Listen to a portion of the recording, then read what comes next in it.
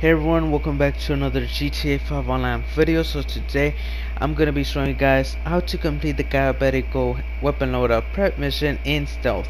I'm obviously talking about the one where you go to their offices and take the guns from them, and not the one where you follow the helicopter from Merryweather HQ. Just follow what I do in the video to do it in stealth and to let you all know it doesn't have commentary so I don't confuse you with what I say in quick tip do headshots only to less likely alert the guards. So with that being said let's get right into it.